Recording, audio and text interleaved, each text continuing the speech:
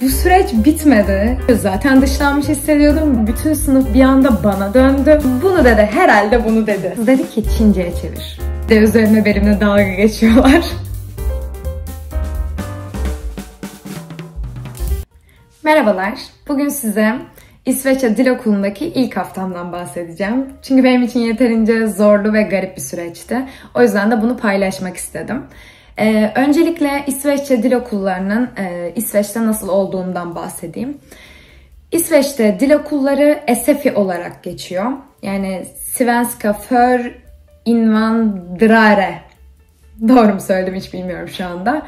Ee, göçmenler için İsveççe. SFI'nin kısaltması e, bu aslında. Kısaltması diyorum, uzatması bu aslında.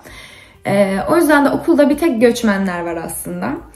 Siz e, ülkede oturum izninizi aldıktan sonra buraya geldiğinizde göçmen dairesine gidiyorsunuz ve son 4 numara denilen bir kimlik numarası veriliyor. Yani bizdeki TC kimlik gibi burada da son 4 numara denilen bir e, numara sistemi var. Onu alıyorsunuz. Daha sonrasında okullara başvuru yapabiliyorsunuz. Bu son 4 numaranız gelmeden okullar başvurunuzu kabul etmiyor. Daha sonrasında okula gidiyorsunuz. Hem o son 4 numaranızı veriyorsunuz. Ee, sonrasında bir sürü sorular yöneltiyorlar. İşte mesleğin ne? Kendi ülkende kaç yıl okudun? E, lise mi okudun? Üniversite mi okudun? E, bunları bitireli ne kadar süre oldu? Hangi alanda okudun? E, daha iç olarak bölümün neydi? gibi sorular yöneltiyorlar. Bunun dışında e, ana dilin ne? Hangi dilleri biliyorsun?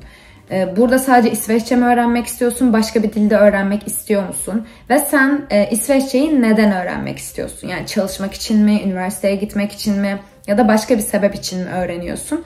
E, bunların hepsini soruyorlar. Çünkü aslında bunlara göre siz okulda okuduktan sonra e, yönlendirme yapıyorlar. İşte üniversite için istediyseniz e, ondan sonra nasıl ilerleyebileceğinizle ilgili. İş için e, İsveççe öğreniyorsanız e, iş olanakları gibi şeyler aslında önünüze sunuluyor. O yüzden de e, amacınızı baştan öğreniyorlar. Bunun dışında okul bir hafta içi bir de hafta sonu şeklinde var. Hafta içi ya sabah seçeneğini seçebiliyorsunuz ya öğlen ya da akşam. Ee, akşam olursa haftanın 5 günü olmuyor. Haftanın 3 günü oluyor. Ama sabah ve öğlen haftanın 5 günü oluyor. Ee, ben öğlen seçeneğini seçtim. 2 ile şu an gerçekten okul saatimi unutmuş olmam. 2'de gitmiyorum. Ee, birden 4.30'a kadar ee, gidiyorum okula. Siz bütün bu bilgileri doldurduktan sonra hangi zaman diliminde okula gideceğinizi de tercih ettikten sonra size diyorlar ki tamam biz bilgilerinizi aldık. Bir iki hafta içinde size döneceğiz. Sanki iş mülakatına girmişiz gibi oluyor yani. Bir de şöyle bir şey var ki zaten İsveç'te her şey iki haftadan başlıyor. Yani siz son dört numara için müracaata gittiğinizde de bana mesela demişlerdi ki iki haftayla e, 6 ay arasında son 4 numaranız gelir. Yani 2 hafta nere, 6 ay nere. Neyse bankaya da gitseniz hep önce 2 hafta. İşte okula başvuruyorsunuz 2 hafta. Her şey için bir 2 hafta durumu var. Sonrasında o 2 hafta içinde size bir e, mail ve bir de mesaj geliyor. E, orada da sizin ders programınız belli oluyor yani zaten okula başlayacağınız e, süreç belli oluyor diyeyim. Çünkü hangi günler gideceğinizi, hangi saat aralığında gideceğinizi siz seçiyorsunuz. Ama işte öğretmeniniz kim olacak, e, okulunuz ne zaman başlayacak, ne zaman bitecek onun bilgisi geliyor. Bir de aynı zamanda size bir link geliyor. Çünkü SF'nin bir sitesi var. Siz o siteye giriş yapıyorsunuz. Ee, yani aslında bizim üniversitelerde de e, her üniversiteye girdiğimizde e, her üniversitenin ayrı bir sitesi olur ve okulla ilgili bütün işlemlerimizi oradan hallederiz ya. Bu da aslında onun gibi bir sistem. Ee, onun için işte size parola seçeneği yolluyorlar. Ee, girişinizi yapıyorsunuz ve oradan da aktif hale geliyorsunuz. Şöyle ki ben bunların hepsini yaptıktan sonra okulum başladı. Okulun ilk günü gerçekten aşırı gergin ve heyecanlıydım. Ki ben e, anaokuluna bile giderken hani annem babam beni bıraktığında tam hani gidebilirsiniz diyen bir insandım. İlkokulda hiç böyle e, aman gitmesinler yanımda sırada otursunlar insanı değildim. Ama böyle ilk gün tam olarak şeydim. E, Berkan'da diyorum ki sen de mi içeri gelsen acaba? Yani ilk gün e, ne bileyim bir şey demezler herhalde. Birlikte dinleyelim dersi ne olacak filan şeklindeydim. Aşırı gergindim. Neyse Berkant beni okula bıraktı. Ben içeri girdim. Ve girdiğimde herkes, yani ikili sıralar var ama herkes böyle tekli tekli oturmuş. Sadece bir 2-3 kişi gördüğümde e, ikili ikili oturan var. Yani 2-3 sıra sadece ikili ikili oturuyordu. Ben de gittim en arkada boş yer vardı bir tek. Birinin yanına oturmak istemedim. E, yeni girdiğim alanlarda gerçekten çok tedirgin hissediyorum çünkü kendime. O yüzden de hiç tanımadığım e, bir bilmediğim ülkede konuşamayacağım insanlarla yan yana oturmayı tercih etmedim. O yüzden de gittim en arkaya tek başıma oturdum. Şöyle ki benim hiç İsveççem yok. İngilizcem de çok çok az bir düzeyde. Yani siz konuşursunuz az buz ne dediğinizi anlarım ama bana hadi sen de bir şey de diyecek olsan her şey birbirine karışır benim kafamda ve aşırı tedirgin olurum. O yüzden de ben gittim en arkaya oturdum. Daha sonra e, hoca sınıfa girdi ve bir anda İsveççe konuşmaya başladı. Hani burada şey gibi bekliyorum işte. E, yani işte merhabalar ben işte e, şu şu şu e, sizin derslerinize ben gireceğim Mayıs'a kadar ve işte bunları bunları göreceğiz. Şimdi işte sizinle de tanışalım falan gibi. Tabii ki bunu işte İsveççe söylüyor. Neden? Zaten İsveççeden İsveççe öğrendiğim bir okuldayım. Bunların hepsine çok okeyim yani. Ama bu süreç bitmedi. Yani 5 dakika oldu, 10 dakika oldu, 15, 20 baya yarım saat falan buldu ve ben artık böyle iyice demoralize oldum. Çünkü insanlar da hocaya cevap vermeye başladılar İsveççe. Ben diyorum ki herhalde yanlış yerdeyim yani. Bunların hepsi İsveççe biliyorsa İsveççe Dil Okulu'nda işleri ne? Ya da e, burası zaten böyle bir yerse ben burada ne yapacağım? Çünkü ben konusunda hiçbir şey anlamıyorum. Kendimi bir an o kadar böyle dışlanmış hissettim ki Berkan'da işte ses kaydı atmaya başladım. Ee, 10 dakikalık, 5 dakikalık ses kayıtları atıyorum. Diyorum ki önemli bir şey diyorlarsa hani bana söyle. Bir şey falan sorulacak olursa. Çünkü ben hiçbir şey anlamıyorum ve aşırı sinirim bozulmaya başladı. Sonra işte Berkant bana önemli olan birkaç bir şey falan çeviriyor. İşte bunu diyorlar, şunu diyorlar ya da işte boş muhabbet ediyorlar sadece falan gibi çeviriyor. Bir yandan da ses kaydı atıyorum. Ondan cevap gelene kadar da arada böyle mesaj yağdırıyorum. Diyorum ki benim burada ne işim var? Ben çıkıp eve gelmek istiyorum. Ara versinler hemen çıkacağım. Ne demek bu? Nasıl bunların hepsi İsveççe konuşur? Ben niye hiçbir şey bilmiyorum? Ee, nasıl ben bunlarla aynı sınıfta olabilirim falan diyorum. Ondan sonra e, bir 55 dakika falan dolduktan sonra e, hoca demiş ki Berkant bana çevirdi. E, ben şimdi gideceğim başka bir hoca gelecek o size sunum yapacak. Ondan sonra tekrardan geleceğim demiş. Okey. E, tam kapıdan çıkarken de böyle bana döndü. Ben tabii ki şu şekilde falan oturuyorum artık yani. Çünkü çok sıkıldım. Hiçbir şey anlamıyorum ve sinirim aşırı bozuk. Yani dünyaya nefret kusuyorum o sırada. Sonra hoca bana baktı. E, ben de bana mı diyorsunuz dedim yani. Sözel olarak bir şey demedim de böyle yaptım. O da evet dedi. E, uyuyorsun gibi bir şey dedi. Ondan sonra öne gel dedi ön sıralara. Ben de yaptım. Ondan sonra yanımda bir tane e, amca oturuyordu. Yani yanımda dediğim ben bu sıradayım, o bu sırada oturuyor. E, amca diyorum çünkü 55-50 falan o yaşlarda birisi. Ve bu arada sınıfa girdiğimizden beri de en akıcı İsveççe o konuşuyor. Sürekli İsveççe konuşuyor. Zaten böyle adama bir yandan şeyim e, hani kıl oldum resmen. Yani sen bu kadar iyi İsveççe konuşuyorken bu yaşta burada ne işin var? Çok sinirliyim. Ondan sonra o amca da bana döndü ve e, cümlesini benimle başlatıp hocaya dönüp devam ettirdi. Sonra da ikisi güldüler. Artık böyle yani sinir katsayımda en üst seviyelerdeyim. E, çünkü zaten dışlanmış hissediyordum. Bir de üzerine benimle dalga geçiyorlar. Hani iyice sinirim bozuluyor. Sonra neyse hoca çıktı gitti. Ondan sonra diğer hoca geldi. Bir sunum açtı. Büyük ihtimalle işte okulla ilgili bir şeyler anlatıyor ama çok güzel ama her şey İngilizce gibi her şey İsveççe. Neyse o da anlattı. Ben en azından sunumu çekiyorum ya. Fotoğraflarını çekiyorum en azından eve gelirim o zaman çeviririm falan diye düşünüyorum. O da bir, bir saat falan İsveççe konuştu. Ondan sonra o gitti. Diğer hoca geldi. Ben ses kaydına devam ediyorum. Ee, Berkant dedi ki kendinizi tanıtmanızı istiyor. İstersen direkt e, İngilizce ve İsveççe bilmiyorum de dedi. İşte adımızı söyleyecekmişiz, yaşımızı söyleyecekmişiz, hangi ülkeden geldik, e, kendi ülkemizde kaç yıl okuduk, ne okuduk, daha önce İsveç'te e, okuduk mu, okuduysak ne kadar okuduk, ne kadar süredir İsveç'teyiz. Bu soruların cevaplarını istiyor. Ben de Translate'den İngilizce çevirdim. Her şeyi e, ondan sonra Berkan'da da attım. Doğru mu çevirmiş Translate diye. O da dedi tamam doğrudur. Sıra bana geldi. En arka sıraya sıra geldi. Ondan sonra ben başladım. İsmimi söyledim, yaşımı söyledim, nereden geldiğimi söyledim ve sonra hemen o sırada e, İsveççe ve İngilizce bilmiyorum dedim. Sonra hoca beni durdurdu. Meğerse o sırada hala daha listeden ismimi arıyormuş ben ismimi söyledikten sonra. Sonra yaklaşık 1-2 dakika ismimi bulmaya çalıştı.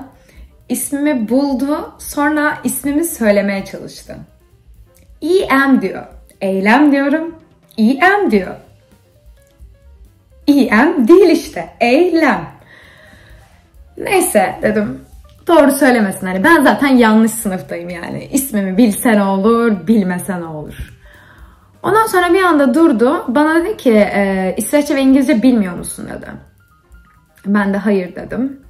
E, bana dedi ki ama İngilizce konuşuyorsun. Defterime yazdığım her şeyi gösterdim. Sonra dedim ki translate. Ondan sonra bana bir şeyler daha demeye devam etti. Dedim ki anlamıyorum. Sonra kendi translate'ini açtı. İsveççe konuştu. E, hoparlöre bastı. Tam o translate'deki böyle kelime kelime çevirir ya. o sesle bana bu zamana kadar konuştuğumuz hiçbir şeyi anlamadın mı dedi. Ben de hayır dedim. O da dedi ki neden o zaman bir şey söylemedin? Buradan sonrası tamamen translate üzerinden geçiyor. Yani o bana İsveççe söylüyor, Türkçe'ye çeviriyor, dinletiyor. Ben de ona e, Türkçe konuşuyorum, İsveççe'ye çevirip ona dinletiyorum şeklinde gidiyor. E, ben de ona dedim ki nasıl söyleyeceğimi bilmiyordum. Peki dedi e, kaç yıldır, e, ne kadar süredir buradasın dedi. Bu arada şöyle bir şey oldu. Bir dakika bunu es geçemeyeceğim. Bu zamana kadar konuştuğumuz hiçbir şeyi anlamadın mı dedi. Bütün sınıf bir anda bana döndü. Ve ben hayır dedim. Herkes bana böyle biraz acıyarak baktı. yani böyle zemindeydim. Zeminin de altına indim artık. Neyse ondan sonra işte e, ne kadar süredir buradasın dedi. Ben de sadece bir aydır buradayım dedim. Ve bütün sınıf tekrardan arkasında bir şey oldu. Oo. Ya acıdınız duble acımayın bari diyorum içimden. Böyle ecel terleri döküyorum ve diyorum ki artık tamam yani bilmiyorum uzatma. Tamam ben yanlış yerdeyim işte. Hani geç beni dersin sonunda ne bileyim beni yanına falan çağır senin sınıfın burası değil falan de. Hani onu bekliyorum çünkü. Neyse e, işte benim bölümüm falan sordu. Neyse ben bölümümü söyledim. Kendi ülkemde kaç yıl okuduğumu söyledim. E, ondan sonra bana dedi ki bundan sonra derste anlamadığın bir şey olursa Translate aç oradan çevir dedi. Yani çevireyim de 55 dakikanın neresini çevirebilirdim ben zaten öyle bir durum var. Ben de tamam dedim. Tabii tabii tamam falan dedim. Sonra bu bize sisteme nasıl gireceğimizi, sistemin içinde neler olduğunu falan anlatmış. Ee, Berkant bana sadece dedi ki senin yanına geldiğinde siteye gir dedim. Ben siteye girdim. Ondan sonra bu yanıma geldi. Bastı böyle bir şeylere. Bir şeyler diyor ama ben hepsine falan diyorum. Anlamış gibi davranıyorum. Ondan sonra orada e, ben bir baktım. Benim seviyem 3C gözüküyor. Yani tamam İsveççe'deki dil seviyelerini bilmiyorum ama hani bir dil, iki asla değil, üç. Ha bir de bunun A'sı B'si varsa C. Berkan'da yazdım tekrardan. Dedim ki benim burada seviyem 3C gözüküyor. Kesinlikle yanlış sınıftayım ben. Benim dedim çıkışıma gel, hocayla konuş, beni doğru sınıfa göndersinler.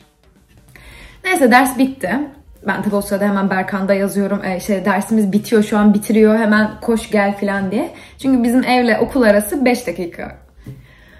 Ondan sonra Berkant geldi. Ben o gelene kadar sınıfta bekliyorum. İşte herkes hocanın yanına gidiyor bir şeyler söylüyor. Hepsi tabii ki İsveççe.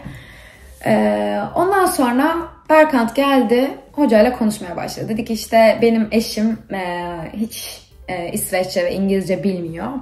E, ve dedi ki sınıftaki çoğu kişi İsveççe biliyormuş ve sınıfı 3C'ymiş. E, yanlış sınıfta mı dedi. Ondan sonra o uzun uzun bir şeyler anlattı, anlattı, anlattı. E, ben tabii böyle hiçbir şey anlamıyorum. Onlar karşılıklı konuşuyorlar. İçimden böyle sürekli şey umarım doğru sorması gereken her şeyi sormuştur. Hani bir soru bile eksik kalırsa ve yanlış yerdeysem mahvoldum çünkü.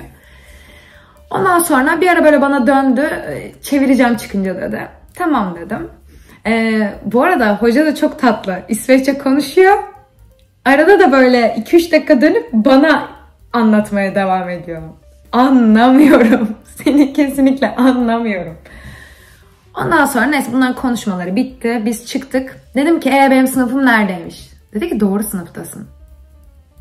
Nasıl olabilir dedim. Yani dedim biri ikisi falan yok muymuş bunun? Varmış dedi. A'sı B'si yok muymuş bunun? Varmış. Peki o zaman ben neden buradayım? Dedi ki burada dil seviyelerine göre sınıflar ayrılmıyormuş. Eğitim yıllarına göre, eğitim seviyelerine göre ayrılıyormuş. Mesela işte sen e, birde olman için e, bütün ömrün boyunca 1-2 yıl falan okuman gerekiyor. İşte 2'de olman için ne bileyim ortaokul seviyesi falan olman gerekiyor. E, sonrası artık üçler başlıyor gibi. İşte sen de kendi ülkende 16 yıl okuduğun için senin e, seviyen buna denk geliyormuş dedi. Dedim ki bunun dili öğrenmemle alakası neymiş peki? Yani dedi e, o seninle ne kadar hızlı öğrenebileceğini gösteriyormuş onlara göre dedi. E, hoca da demiş ki yani 2B'ye de geçebilir. E, ama demiş ben okuduğu yıla bakınca bu sınıfta zorlanacağını düşünmüyorum. E, ilk bir ay onun için zor olabilir ama ondan sonra bence alışacaktır. Eğer hiç anlamadığını ve yapamadığını fark edersem e, ben o zaman 2B'ye gönderirim demiş. Hocam bana olan güveni gerçekten gözlerimi yaşarttı. Çünkü ben o sırada kendime hiç o kadar güvenmiyorum. Ha, bu arada şu detayı vermem gerekiyor. Ee, sınıfta konuşulanlar devam ederken işte ilk sıra bitti. Oradan buraya geçti. Sonra benden sonra da devam etti. Önlerde oturan bir e, Çinli çocuk vardı. O da e, İsveççe hiç bilmiyor. İngilizcesi de çok az. Onunla da çünkü zar zor anlaştılar İngilizce'de de. Sonra onunla da Translate ile devam ettiler. E, o çocuk da hiçbir şey anlamamış. E, sınıfta 3-4 kişi de İngilizce biliyor. İsveççe bilmiyorlar. Yani böyle bir iki cümlelik falan biliyorlar. E, onlarla da hoca İngilizce konuştu. Yani böyle 6-7 kişi falanız İsveççe'ye dair çok da bir fikri olmayan. Ee, o Çinli çocuk da bu arada kendi ülkesine 16 yıl okuduğunu söylemişti. Ben sonra zaten ben de böyle Berkant'ta yıla göreymiş deyince flashlar çakmaya başladı. Dedim olay bu herhalde. Neyse ikinci gün oldu. Ben tabii ilk günden sonra bayağı biteyim hani. Hiçbir şey anlamadım. Yarın ne anlayacağım. Bir de şöyle bir şey var. Yani bu eğitim nasıl gidecek? Çünkü birileri İsveççe biliyor. Yani şimdi sen benimle alfabeyle başlayacaksın. Onlar ne yapacak bu sırada? Ya da bana hiç alfabeyi göstermeyeceksin. Onlara göre gideceksin. Ben ne yapacağım? Ben nasıl anlayacağım? Neyse dedim. Gittim. Ee, bu arada ilk gece de Berkant'la böyle evde alfabe falan çalışıyorum. Nasıl söyleniyorlar, nasıl şey yapılıyorlar. En azından yarın gittiğimde orada bir şeyler anlatacak olursa çünkü ben onu net anlamayacağım. En azından önden bir şeyler biliyor olayım diye. Çalıştım ben, gittim. Ben sınıfa girdim. Ee, bu arada geç kaldım. Çünkü saatleri karıştırdım. Buraya geldiğimden beri yani e, işim hala Türkiye'de online bir iş yapıyorum. Ee, orada toplantılara giriyorum. O yüzden de bir yandan oranın saatinde kontrol ediyorum ve sürekli bu konuda bir tık kafam karışıyor. Ben neyse saatleri karıştırmışken Berkant bir anda bana dedi ki e sen okula gitmeyecek misin? 10 dakika falan var bu arada. Ben dedim ki daha yok mu? Hayır dedi. Şimdi başlayacak 10 dakika sonra. Ben neyse apar topar hazırlandım. Koştur koştur gittim. Ya zaten sınıfla ilgili bir ton sıkıntım var bir de geç kaldım. Sınıfa girdim. Ee, hoca dedi ki neredeydin? Yani vücut dilinden anlıyorum bu arada. tabii ki de asla söylediğini anlamıyorum. Ben de ona tabii ki şey diyemeyecektim yani. Çünkü bunu nasıl diyeceğimi asla bilmiyorum. Ya ben aslında Türkiye'de iş yapıyorum da oranın saatiyle karıştırmışım da o yüzden geç kalmışım. Son 10 dakikada fark ettim. Hemen hazırlandım, koştum geldim diyemeyeceğim için ben sadece kayboldum dedim. o da bana dedi ki iyi misin? İyiyim dedim. Tamam geç dedi. Ben tam böyle yine arkaya doğru ilerliyorum. Bana böyle seslendi hani böyle bir şeyler diyor durdur gibi. Arkamı döndüm. En önü gösterdi. Buraya otur dedi. Hayda. ben şimdi hiç bilmeyen halimle niye en öne oturuyorum. Sonra neyse ben geldim en öne oturdum. Ondan sonra bu başladı alfabeden. Benim bir içim rahatladı. Dedim ki iyi en azından alfabeyi öğreneceğiz. Yani çok basic başladık. Güzel her şey. Sonra alfabeyi öğrendik. Bunların işte epitopu iki tane zaten okunuşla ilgili kuralları var. Kelimelerin okunuşlarıyla ilgili. Onlara geçtik. Onları anlattı. Full İsveççe anlatıyor ama bir şekilde anlıyorum da. Garip bir şekilde. Yani şimdi yazdıklarına bakıyorum aşağı yukarı herhalde bunu diyor, bunu çıkarıyor falan diyorum örneklere de bakınca. Neyse biz 10-15 tane falan örnek var bu arada kitapta da. Şimdi de bunlara geçiyoruz. Ee, ben anlamadım bu arada bu kısmı da. Yanımdaki kız anlamış ve o bana e, Translate'den çevirdi. Türkçe'ye çevirdi. Dedim tamam. Sonra hoca bana döndü bir anda. Dü dedi. ben evet dedi. Ben başladım okumaya. Bu arada bir önceki gece çalıştığımı hatırlatırım. Okudum, okudum, okudum, okudum. Hepsini doğru okudum. Aa, yette bra. Bu arada yette bra'nın ne demek olduğunu bile bilmiyorum ama yüz ifadesine bakıyorum. Herhalde iyi bir şey dedi. Doğru yaptım herhalde diye düşünüyorum. Sonra neyse yeni konuya geçtik.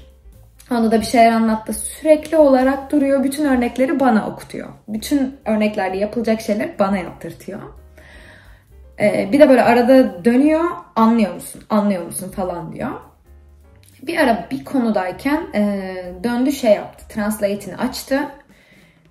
Çünkü e, onlara İngilizce anlattı nasıl olduğunu yani kuralının ne olduğunu.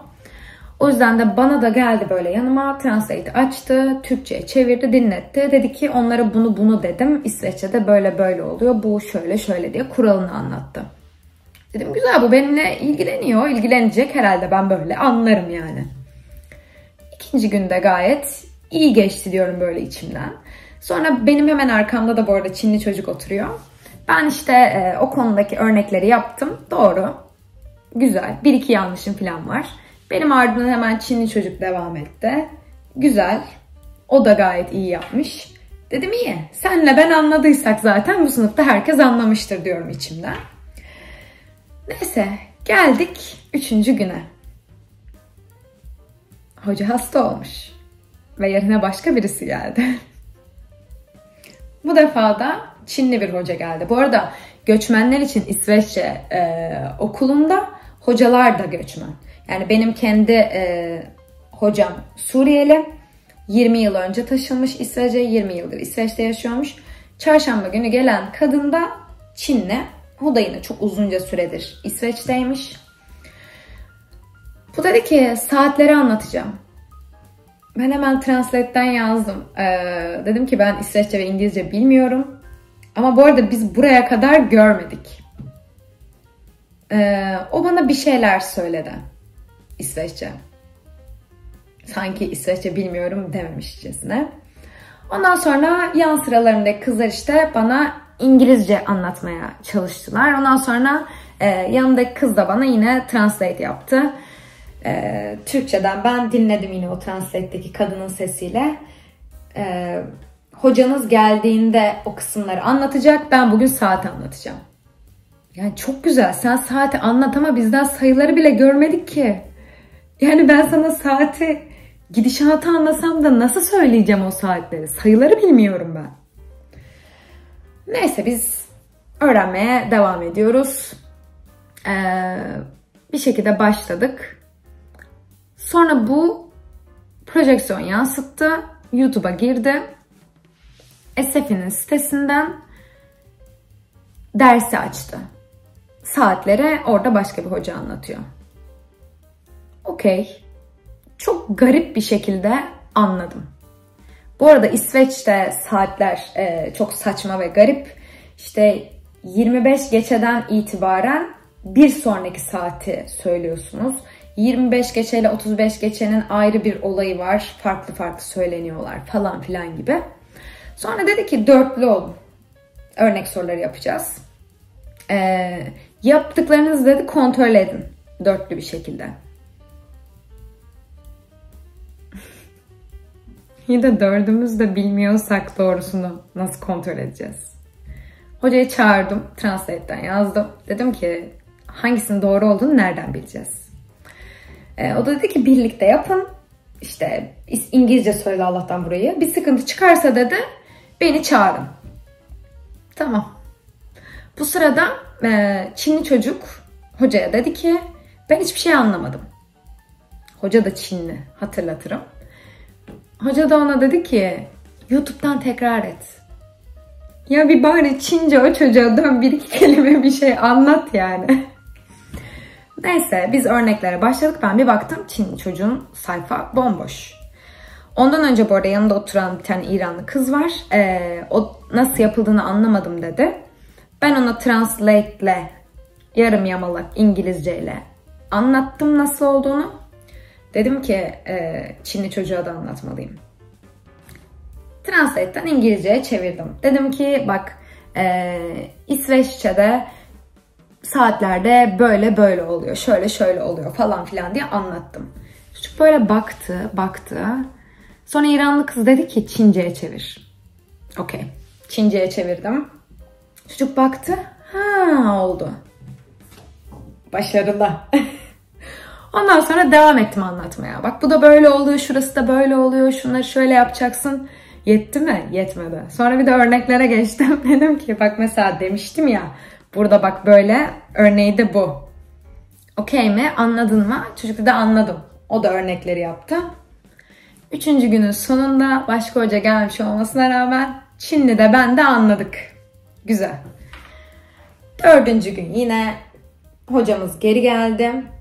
Geri döndük. Bu arada hani hocaya şeyim yani e, içimden diyorum ki seni o kadar özledim ki iyi ki geldin. Çünkü Çinli kadınla hiçbir şekilde anlaşamadık. En azından e, kendi hocam bana işte çevirmeye çalışıyor. Anlıyor musun diyor. Anlamadıysan bir şekilde anlatmaya çalışıyor. Bu arada bir tek benim için değil. Hani sınıfta hiç İsveççe bilmeyenlerin hepsi içinde özel olarak onlar anlayana kadar da anlatmaya çalışıyor. Öteki kadın hiç öyle bir derdi yoktu. O yüzden de iyi ki bizim hoca geri geldi. Perşembe de gayet güzel atlatıldı. Cuma da gayet güzel atlatıldı. Dedim ki okey herhalde ben bu kurda anlayacağım. Ama ilk gün gerçekten e, kendimi kesmek istedim. O an oradan hemen koşup kaçmak istedim. İyi ki devam etme kararı almışım ve devam etmişim. E, şu anda da zor olsa da bir şekilde anlıyorum. Anlamadığım kısımları eve geldiğimde e, soruyorum bu neden böyle, bu neden şöyle diye. Ya da orada hemen hocaya translate'de soruyorum. Hani bu kısmı anlamadım, niye böyle diye. O gelip tekrardan anlatıyor. Bazen gerçekten garip geliyor ama yani tahtaya bakıyorum o İsveççe yazıyor. Kuralını da İsveççe yazıyor. Şu şöyle olur böyle olur da İsveççe anlatıyor. Ben böyle böyleyim ama yani. Kulaklarım tamamıyla açık ve şeyim Hani ee, bunu mu diyor, şunu mu diyor, bunu dedi, herhalde bunu dedi falanım. Böyle böyle iyi geldik buralara. İnşallah kalan sürecim de güzel gidecek. Kalan süreçte ilgili de bilgi veririm. Çünkü şu an bayağı konuşmuşum zaten. Yani bu videoyu hiç kesmezsem şu an zaten yarım saat olacak. Ee, umarım ilginizi çekmiştir İsveç'e dil okulunda yaşadıklarım. Ee, eğer siz de buraya göçmen olarak gelirseniz bu süreçlerden geçeceksiniz. İsveççeden İsveççe öğreneceksiniz. Belki de sınıfınızda hiç kimse bende olduğu gibi Türkçe bilmiyor olacak. Ama öğreniliyor. Merak etmeyin. Görüşmek üzere. Kendinize iyi bakın.